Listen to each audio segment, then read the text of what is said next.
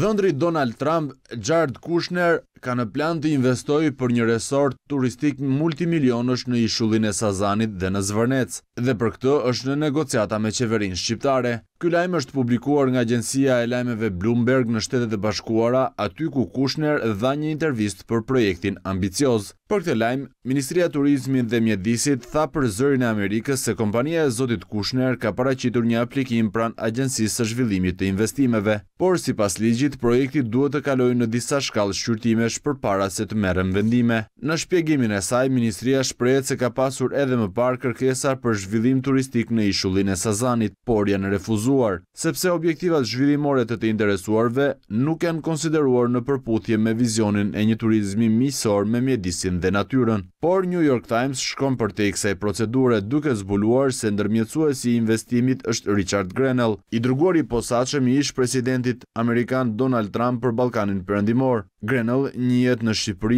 dhe si një urlit se e opozitës me Republikanët për te Atlantikut.